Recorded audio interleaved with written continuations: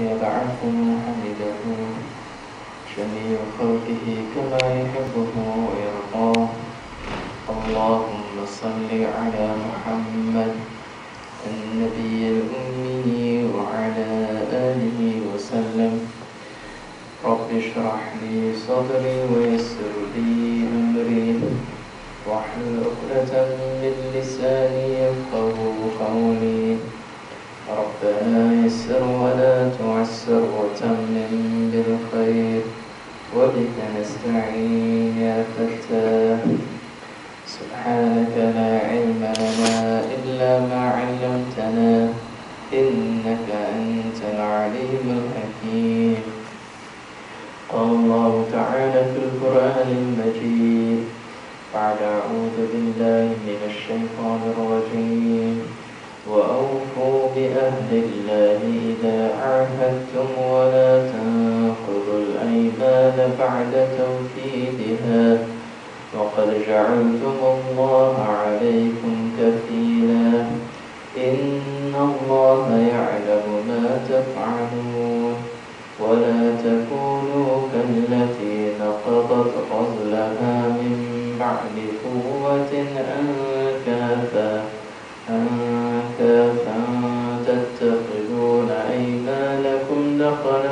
بينكم أن تكون أن تكون أمة هي أربى من أمة. إنما يبلوكم الله به وليبينن لكم يوم القيامة ما كنتم فيه تختلفون. ولو شاء الله لجعلكم أمة واحدة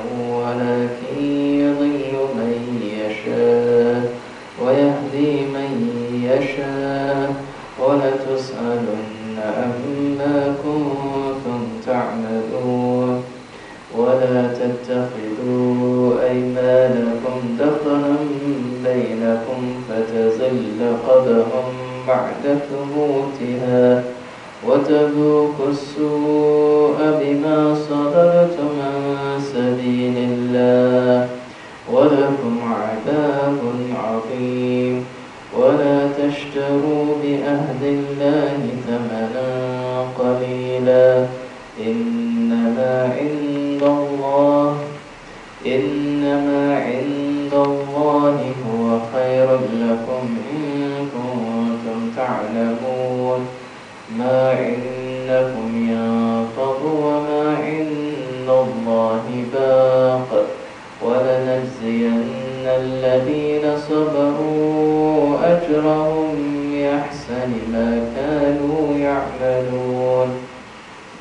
من عمل صالحا من ذكر أو أنثى وهو مؤمن فلنحيينه فلنحيينه حياة طيبة ولنجزينهم أجرهم بأحسن ما كانوا يعملون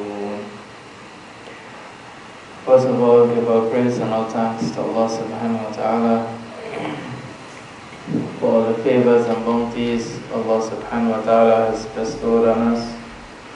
We send salat and salam on his last and final messenger, Muhammad sallallahu alayhi wa sallam. As we continue the tafsir of Surah, to, Surah Al-Nahl, we are in verse 91. In our last session, we completed verse 90, which was Ajma Ayatun fil Quran, known as the most comprehensive ayat in the Quran. So ayat number 91 and a few others deals with oaths taken, making a pledge, making a promise, making an agreement. This is something which is sacred. When you give someone your word, you should keep your word. You should try to keep your promises that you make and do not make any agreement that you can't fulfill. Do not make any promises that you cannot keep. So these few ayats are going to deal along that topic. Verse 90 had begin with Inna Allah ya'murukum bil adl. Now certainly Allah command you to be just.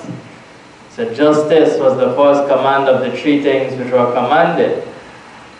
And verse 91 now, Allah tells us of something which we should try to be just with as well should be our word, what we say, what we give people, our promises.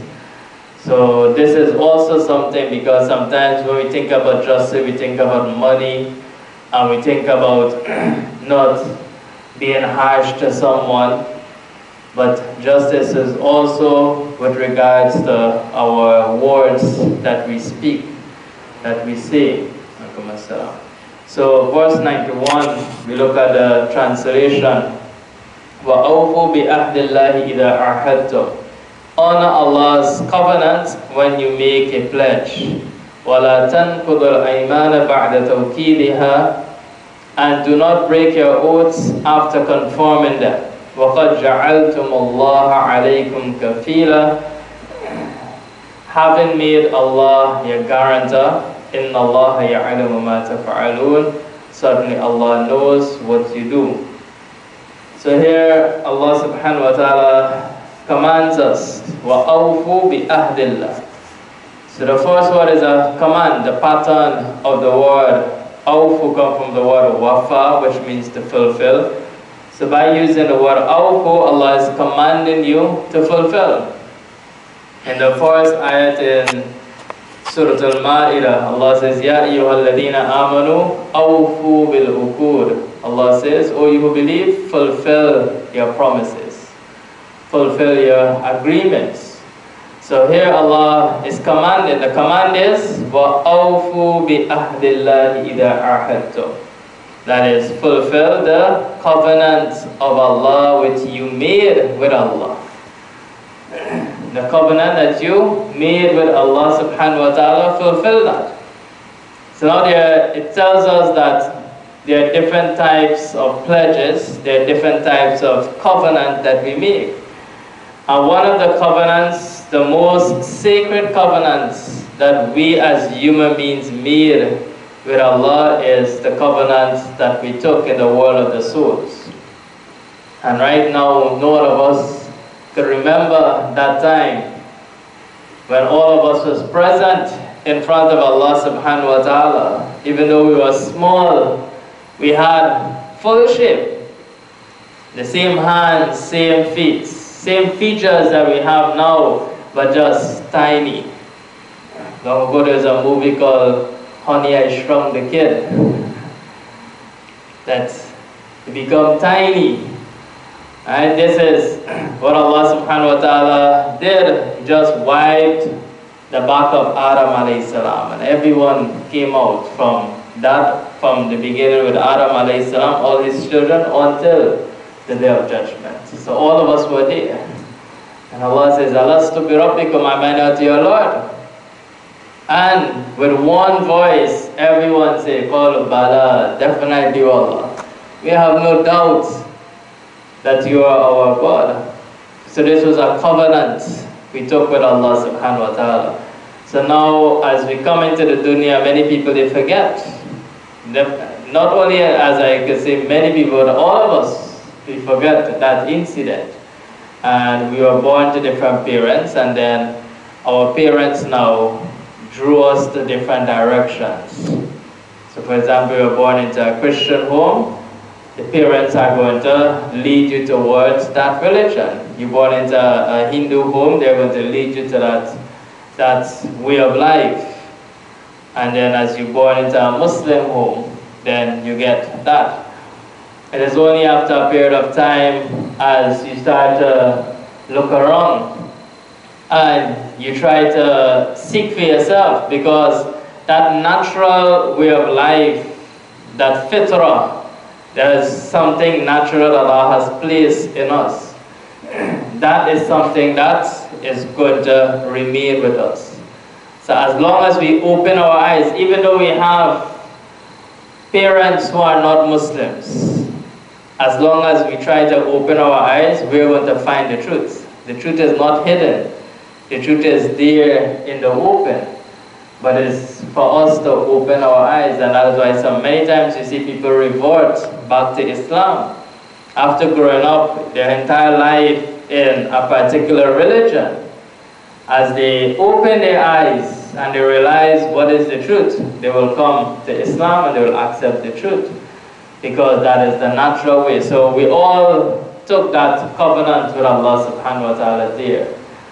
But after that, there are other covenants as well as Muslims, as we, as Muslims, we have accepted Allah as our creator because we say we follow Islam. And if we say we follow Islam, our belief is La ilaha illallah Muhammadur Rasulullah. There's no God but Allah and Muhammad is the messenger of Allah. Now by believing that there is no God but Allah, which means you accept all of Allah's commands. So when you do not fulfill Allah's com commands, then you're not fulfilling the covenant you took with Allah subhanahu wa ta'ala. The ayah before, three commands, Adal Ihsan and Ita'id al-Qurba. Now as I mentioned, Allah is saying that you have a covenant with Allah subhanahu wa ta'ala. And all of us have that covenant with Allah subhanahu wa ta'ala which we have to fulfill that covenant. So, awfu bi ahdillahi ida ahadtum when you make that oath, that covenant with Allah. وَلَا تَنْقُضُ الْأَيْمَانَ بَعْدَ تَوْكِيدِهَا And Allah, He says, do not break the pledges you make. Do not break your oath after conforming it. Do not break your oath after conforming it. So when you make an oath, you should try your utmost to hold on to that, to try your best to fulfill it. Now there are certain situations where you make an oath and afterwards you realize, you know what, you cannot, it is not in your means to really fulfill that. It's just natural as well. As human, at that point of time, you felt, you know what, I could, I could fulfill this. But as time passes and situation changes around, we do not know what tomorrow holds. We do not know what next week holds. But what we have today, we feel to ourselves, you know what, I could fulfill it. But then when next week we realize, you know what, I really can't fulfill it, even though I want to. Well, Allah subhanahu wa ta'ala says in the next ayah, He says, وَلَا تَجْعَلُوا اللَّهَ قُرْدَةً لِأَيْمَانِكُمْ Do not La taj'alullaha uradatan li'aymanikum. Do not make Allah an excuse for your oaths. Do not make Allah an excuse for your oath.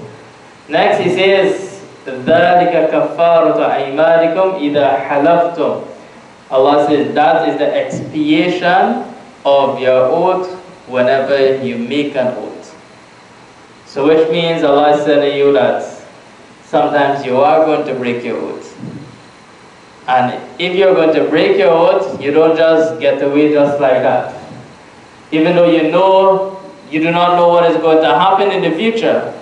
When it do happen in the future and you cannot fulfill your oaths, Allah is saying, then you have an expiation to do. You have a kafara to fulfill. So Allah said, ذَلِكَ كَفَارَةٌ So we see in this ayat, Allah is saying, La tanqudul ayman, don't break your oaths. Right, so someone might look at this ayat and say, Lord, Allah is saying, we can't break our oath at all. We cannot do that. If we do that, it's a major crime. Something if we go to be thrown in the fire of Jahannam if we break our oath. And that's why Allah tells us in the next ayat, and another ayat of the Quran, is that There is an expiation there is an expiation which means that in certain circumstances you might have to break your oath. So if you do break your oath, then just fulfill the kafara, fulfill the expiation. The Prophet ﷺ, he says, Inni wallahi, insha'Allah la ahlif ala yaminin. He says, I swear by Allah, if Allah wills, I would not break my oath is what the Prophet ﷺ says.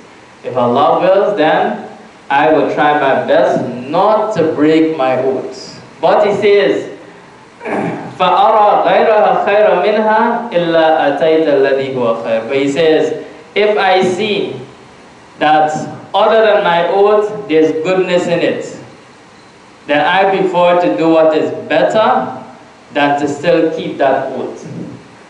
Again, I prefer to do what is better than to keep that oath. But I would like not to break it, but if there's something better than that, I prefer to do that which is better and then do the kafara. So for example,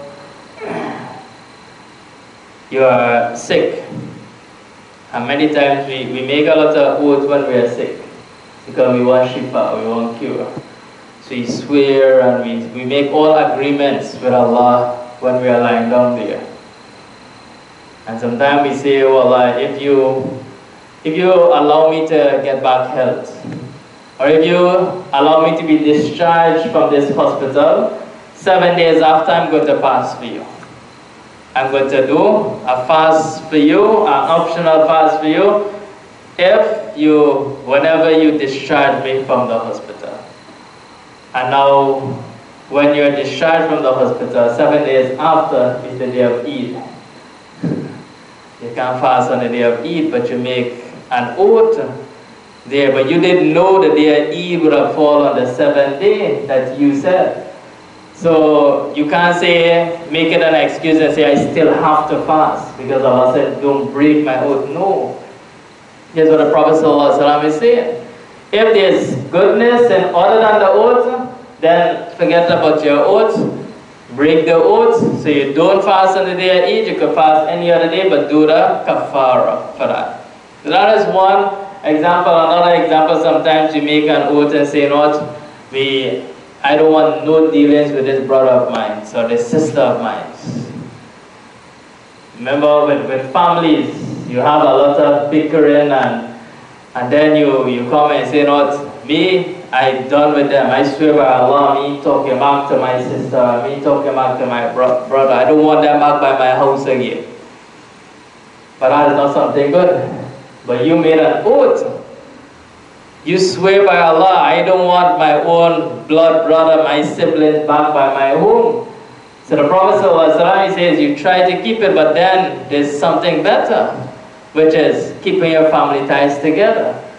So you should not hold on on that oath. You should break it, allow them to come back and do kafara. So this is what Allah said, وَلَا تَنْقُلُ الْأَيْمَانَ بَعْدَ تَوْكِيدِهَا Do not break your oath after it has been confirmed. وَقَدْ جَعَلْتُمُ اللَّهَ عَلَيْكُمْ كَفِيلًا Allah subhanahu wa ta'ala says, because when you make an oath, you are placing Allah as your guarantor. Because you're using Allah's name, you're saying, I swear by Allah. So what you're doing there, you're putting Allah's name as your guarantor. And if you have Allah as your guarantor, you have to try your best to fulfill that. Because it is you who have put Allah subhanahu wa ta'ala as your guarantor. Allah says, in Allah ya'lamu ma taf'alun. Allah subhanahu wa ta'ala, He knows what you do. The word ahad refers to all types of transactions, all types of pacts, all types of pledges. According to most of the scholars, to break your oath is considered to be a major sin. So, as much as possible as you could upkeep it, you should try your best to upkeep it, to fulfill it. There's only, as I mentioned, only in certain circumstances you realize that there's better only then you break it, and even when you break it, you make sure you do your kafara. As for who this ayat is addressing, it is mentioned it is general for everyone because the Quran is general. But at that time, whilst it was being revealed, Allah, it is mentioned that Allah was addressing the Ahlul Kitab. The Ahlul Kitab, the Jews and the Christians. Because, as Allah says, don't break your oath after you have confirmed it. Now they, the Christians, the Jews and the Christians, they had made an oath that as long as I'm alive, and the last prophet come, I am going to follow him. That was their oath. That was the pledge they made. As long as Muhammad, not Muhammad, as long as the last prophet, they was expecting to come from amongst their people. And that is why many of them settled in Medina. Sell out what they had, different places, because they knew that the last prophet is not going to come from Jerusalem. It is going to come in Medina. But while settling there, one of their expectation is that someone from our progeny now is going to born in Medina to be the prophet.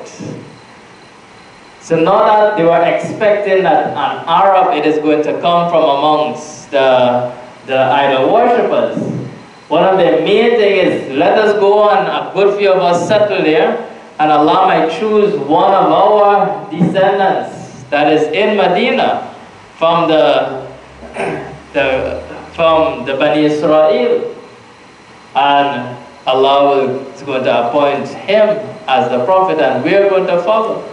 And this is why whilst they were in Medina, they were a minority. They were a minority. So many times the Arabs used to take advantage of them. Because those that are the worshippers, they were the strongest. They had all the bigger tribes. So anytime there was any little fighting, they would always lose. The Christian, the Ahlul Kitab would always, lose. And they would say, you know what, if, when, sorry, when the last prophet comes, we are going to follow him, and then we are going to be victorious against you. But when he did come, what happened? They broke their pledge. So one is, they made a pledge. Allah says, fulfill the pledge you made, the Jews and the Christians. And don't break the oath after it has been confirmed. So don't break it now that you see him. All the time you're waiting on him. Now you see him just because you don't like him, you're going to break your oath. Allah said, no, don't do that. Because you had placed Allah as a guarantor over you. So even though it is general, as I said, the ayat is general for everyone, for us as well in our time, but it was the Bani, the Ahlul Kitab who was settling there in Medina. The Prophet ﷺ, he did what we call different bay'ah, the oath of allegiance. That people would come to the Prophet ﷺ and accept Islam. And when they accept Islam, he will hold their hands and he will make them make a pledge. There were different pledges. And one of the, the pledge will, will, will entail fulfilling the commands of Allah. That is making sure you pray your salat, you fast, you give your zakat. That was the pledge. Do not turn away from Islam. So this was the, the pledge that he had made with many of them. So Allah is saying, fulfill that pledge. So all the new Muslims that came now and made that pledge with the Prophet sallallahu alaihi wasallam, Allah said, fulfill it.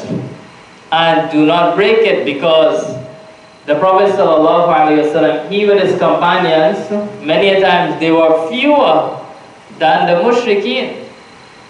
And now when you see you are in the minority and there's a majority, many times you want to, to jump ship and go over on the other side because you feel to yourself, the numbers are better on that side, the better thing for me to do is go on that side. Allah says, La tanqudul aymana ba'da tawkiha. You already made this pledge with the Prophet Sallallahu that whatever hardship comes your way, you have to stay with it.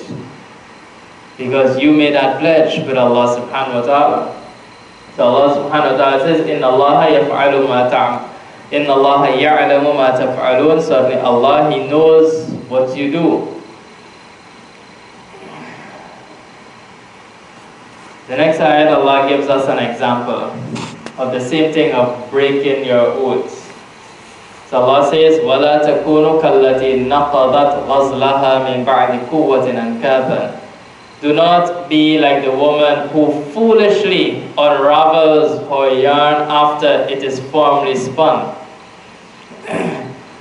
تتخذون أيمانكم دخلا بينكم أن تكون أمة هي أربى من أمة إنما يبلوكم الله به وليبينن لكم يوم القيامة ما كنتم فيه تختلفون Allah says, by taking your oath as a means of deceiving one another in favor of a stronger group. Surely Allah tests you through this, and on the day of judgment, He will certainly make your differences clear to you. So Allah gives it an example.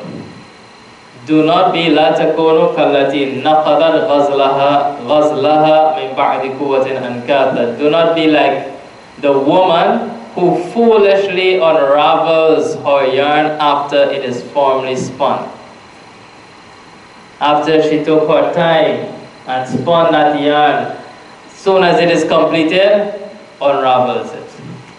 It is mentioned that there was a woman in Makkah who used to do that take all her time and then when she finished, she release it. You know, some people have these puzzles and some of them are thousand bees and they take their time, sometimes two, three days trying to fix that puzzle. As soon as they fix, scramble it and start again.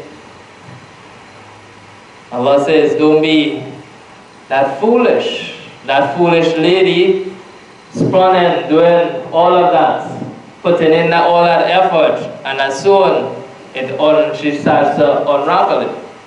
The understanding of this is that, the, as I mentioned, it is referent to the Ahlul Kitab. They were putting everything in place. Putting everything in place. And then now, as they see Muhammad sallallahu alaihi wasallam, they start to unravel it. Start to let go of everything that was given to them. So even though it was already completed, all they had to do now, all the preparations were finished, completed. All they had to do now was say, La ilaha illallah Muhammad Rasulullah. Everything was there already. Because they already believe in malaikas, they already believe in prophets, they already believe in books, they already believe in life after death. So they're kind of Akira was very, very close to Islam, more than the people of Makkah. And yet, when the Prophet ﷺ come, instead of just completing it out, they start to lose it. This is the parable Allah subhanahu wa ta'ala has given, which tells us as well when we make an agreement, we do everything, we sit down with someone and we do out an agreement, you spend time do that agreement, you should not, soon when it finished, go back on your words. Do not be that foolish person. You, you sit, you read everything with this agreement. Before you sign, as long as you sign it, don't break it. So this is also with regards to this individual. Allah then says, تتخذون أيمانكم دخلا بينكم أن تكون أمة هي أربى من أمة that they are taking, you are taking their iman, their oaths, their pledges as a form of deceit, a form of deception amongst you. So that one group will be stronger than the other group. What they will do is they will come to the Prophet sallallahu alaihi wasallam and they will make a pledge with him. This is Ahlul Kitab. In Surah Ali Imran, Allah mentions this even clearer, that they had this plan amongst themselves, that what we're going to do is go in the morning and accept Islam. And then spend the whole entire day as Muslims and in the evening now, we're going to say this is not the true religion. Nothing is nice in this religion. And we're going to go back, apostate, go back to our previous religion. So Allah is saying these people, they will take an oath and then they will just make it look, try to deceive people to, to feel that, you know what, this is good, and then they will go on to the other group because the other group is larger or stronger. So Allah subhanahu wa ta'ala says, do not do that with your oaths, with your pledge. Do not use your pledge to deceive. Allah says, إِنَّمَا يَبْلُوكُمُ اللَّهُ بِهِ Certainly Allah subhanahu wa ta'ala is testing you with it. Allah is testing you with it. So when you when you are making your oaths, when you're making your pledge, when you're making a covenant, when you're making a promise, simple thing as a promise, when you are making a promise to someone, all of that is very simple to do with the tongue. It just comes out very easy. But Allah subhanahu wa ta'ala says it could be a means of deception. And as it be a means of deception, then you're throwing yourself into falsehood, into batil, throwing yourself into the law and the misguidance. So Allah says Allah has used the pledges, your promises, your agreements. Allah has used it as a form of testing you. Testing you.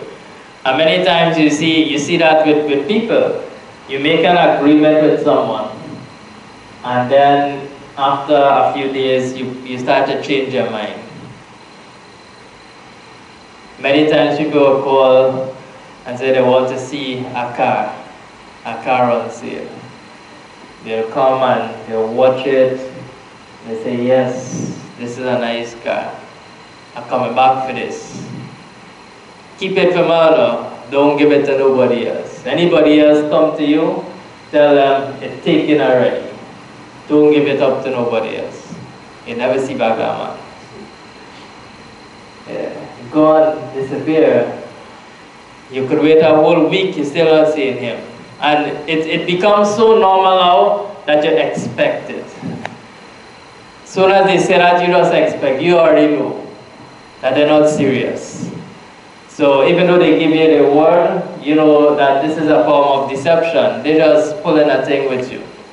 So Allah is telling us, don't fall for that. Allah is testing you. وَلِيُبَيِّنَنَ لَكُمْ يَوْمَ الْقِيَامَةِ مَا كُنْتُمْ فِي تَخْتَلِفُونَ Allah says on the day of judgment, Allah is going to make it clear to you with what you are different in. On the day of judgment, as I said, it refers to Ahlul Kitab, all the ikhtilaf, all the differences that the Jews and the Christians have, Allah says Allah is going to make it clear for them on the day of judgment. Whatever issues we had with our agreements as well, with our pledges, our covenant that we took, Allah is going to show us it on the day of judgment. So don't think that no one is seeing. Sometimes we do things, sometimes we say things, and we say, no, but they don't have proof for what we say. There's not a, a written agreement and we find a lot of people like that. If you don't write it, they, they try to deny it when they don't want to fulfill it. But Allah is saying on the day of judgment, everything is going to be clear. So if they try to fool you here, they can't fool you on that side. Allah subhanahu wa ta'ala is going to make it clear. In verse 93 now, Allah subhanahu wa ta'ala he says, وَلَوْ شَاءَ اللَّهُ لَجَعَلَكُمْ أُمَّةً وَاحِدَةً ولكن يذل من يشاء ويهدي من يشاء ولتسألن عما كنتم تعملون Allah says, had Allah willed, He could have easily made you one community of believers. But He leaves to stray whoever He wills and guides whoever He wills. And you will certainly be questioned about what you used to do. Many times people ask this question, if religion was true, if God was real, then why are there so many different religions? Why does he just can't make one religion? Why have to have Christianity? Why have to have Hinduism? Why have to have Judaism? Why have to have Islam as a separating? Why couldn't just have one religion? If there's one God, everybody claims there's one God, then why are there so many different religions? Why didn't he just guide everyone to that one religion? Allah says, وَلَوْ شَاءَ اللَّهُ لَجَعَلَكُمْ أُمَّةً وَاحِدًا Allah says, if Allah wanted, Allah could have done that. It's not that Allah subhanahu wa ta'ala does not have the power to do that. Allah could have done that. Allah could have made everyone Muslims. As soon as you think about batil, you think about going down the wrong path, Allah could have changed your mind and inspired you to know that, hey, this is wrong, come back on the straight path. Allah could have done that. Allah says Allah has the power to do that. if Allah wanted, Allah could have made all of you into one. In another ayat, Allah says, Walau syaa rabbuka la amana man fil ardi kulluhum jami'a. Allah says, if your Lord wanted, He could have made every single one on the face of the earth believers. Allah has the power to do that. Alright, now Allah can do that. Allah can make every single one Muslim. So much so that they will have no disagreements. Allah can remove all the disagreements. Allah can remove all the hatred.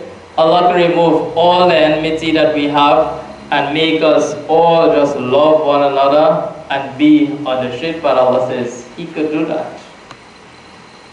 But if we do something like that, then Allah is breaking His word. If He does that, He is breaking His own oath now. The ayat before Allah tells you, don't break your oath. And if Allah was to do that, then Allah is breaking His oath. And what is His oath? Allah says, he has created life and death to test you, to see which one of you is best indeed. To test you. Now, if Allah is guiding you, guiding everyone to the straight path, that is no test. That is no test.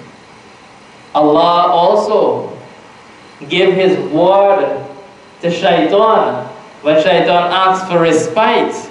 Allah says, yes, I am giving you respite until the day of judgment. Do what you want with them. Try to misguide them. If Allah grant respite to shaitan, and then Allah equipped us in such a way that whatever shaitan do is like nothing. Then Allah is breaking his word he gave to shaitan as well. So Allah is breaking his word that he gave to us that he's going to test us to see which one of us, and he's breaking his word against shaitan. And Allah wouldn't do that. Allah has created us, placed us, granted us a free choice that we could choose for ourselves. And as long as you have a free choice, He can't guide everyone. Because as long as He guides everyone, He's taken away that free choice. You're becoming now like how the angels are if he was to guide everyone. So everyone will be going to Jannah. Nobody will be going to Jahannam now. Because he has took away the free choice. And Allah is not going to do that because again, if Allah take away our free choice that we could choose what we want, then Allah is going against His words again. So Allah is showing you Allah is not going to go against His word. Just as how Allah is encouraging us to keep our word, Allah is going to keep His word. And this is why Allah subhanahu wa ta'ala, He says in another ayat, He says, وَلَوْ شَاءَ رَبُّكَ لَجَعَلَ النَّاسُ أُمَّةً وَاحِدًا If your Lord wanted, He could have made the He could have made mankind into one nation. وَلَا يَزَالُونَ مُخْتَلِفِينَ but he says mankind have this attitude, this nature of always having differences. And how do they get that differences? Because they have a free choice. Allah has given them an apple, which He did not give the, the other creations. So Allah has given them that, and as long as they have that, that apple, that freedom of choice, they are going to use it and try to, to differ. And Shaitan is going to use that as well to instill things in them so that they will start to think around the, the other way and start to follow different religions. So Allah says it's not that Allah cannot do that. So when people bring that question, why Allah don't do that? Allah has already promised you, giving you a free choice. The only way Allah could do that now is taking away that free choice from you. Breaking His promises, breaking His covenant that He had made with us as mankind. So Allah says, يُدِلُّ مَن يَشَاءُ وَيَهْدِي مَن يَشَاءُ Allah says, He allows to go astray whoever He wants. Yudillu mayyasha. So whoever wants to follow any other God, Allah allows them. Go ahead. Allah is not going to turn them out, even though Allah could do that. Allah could stop them. Allah has the power to, as soon as you call another God's name in your mouth, to make you dumb. Allah could do that. Allah has the power to do that. Soon as you go to enter into another place of worship, Allah could make you collapse there with a heart attack and die right rightly. Allah could do that. But Allah says, Yudillu mayyasha. Allah allows to go astray whoever He wants. Say if a man, one, a section of people want to go that way, Allah says He allows them, He doesn't stop them. Wayahdi mayyasha and Allah subhanahu wa ta'ala, He guides who He wants. مَن يَشَاءَ وَلَا تُسْأَلُنَّ amma كُنْتُمْ تَعْمَلُونَ But Allah says, that is not final. Your guidance and misguidance is not final. Because on the day of judgment again, Allah says, you are going to be questioned about what you used to do. You're going to be questioned was the angels wouldn't be questioned. Why the angels wouldn't be questioned? Because they do what Allah tells them to do. So there's no need for them to be questioned. All the other creations of Allah, except for the jannats, they just do what Allah tells them to do. So there's no questioning for any of those creations. But us, Allah has granted us that free choice, and some are going to choose the right, some are going to choose the wrong. So because of that, now Allah says, you'll be questioned. And when Allah subhanahu wa ta'ala, He questions you on the day of judgment, then Allah will either, as you know, Allah will either reward you for what good you have done, or Allah subhanahu wa ta'ala will punish you for what evil you have done.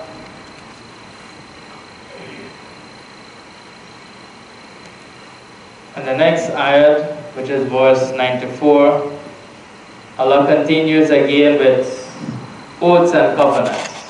This is our last ayat that we're going to do tonight. Allah says, And do not take your oath as a means of deceiving one another. Or your feet will slip after they have been formed. Then you will taste the evil consequences of hindering others from the way of Allah and you will suffer a tremendous punishment. Again, if we look at it in the perspective of addressing the Ahlul Kitab, we'll have a better understanding because this is what they did with their covenants. So Allah says, don't take your iman, don't take your oaths, don't take your pledges as dakhalam bainakum, as a deception amongst you. Same thing Allah said in the previous ayat. But then Allah give you the example of the woman who, after doing all of that, just letting it go. Allah says, فَتَزِلَّ قَدَمًا بَعْدَ تُبُوتِهَا Allah says, if you do that, then your foot is going to slip or your feet will slip after it was so formed. Similar parable. You are standing strong, hoping, waiting, and now as it is there, you use your covenant as a form of deception. And then you slip and you fall. And when you fall, you don't get up again. So Allah says, you slip. So be careful with what you see.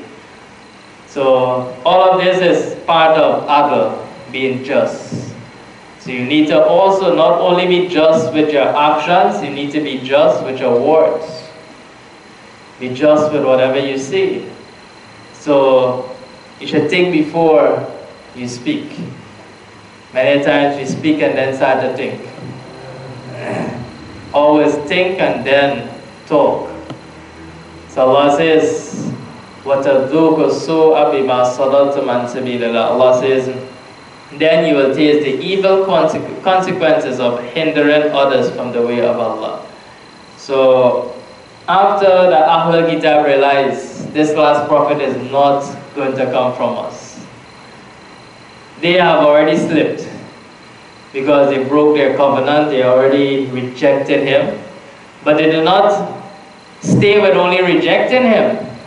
They started to propagate the message that he is the false messenger to stop people from accepting him even though they know it is the truth. They start to hinder others, tell people, no, this is not the, the true messenger. You cannot follow him. The true messenger is those messengers in the past, not him. He's a fake. So Allah says, وَتَذُوقُ سُوءَ بِمَا صَدَرْتُمْ You will taste the evil consequences of you hindering people away from the path of Allah. There was an ayah before where we saw in the fire of Jahannam, those who disbelieve and hinder will have double the punishment. They will have one for disbelieving, and the second is to preach to others to also follow the wrong path. So here Allah says, you're going to taste the evil consequences, bima salatum and sabilillah. And then Allah ends, Allah says, walakum adabun azim. Allah says, for you will be a tremendous adab, a tremendous punishment.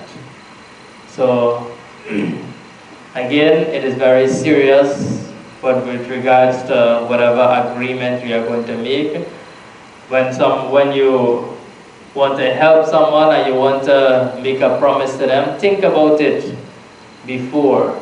Don't just let it come out your mouth and then realize afterwards, hey, I say this and I can't really keep my word. Try your best to, whatever you want to do, whatever agreement you're going to, to give to someone, whatever pact you're going to make, try your best to always upkeep it.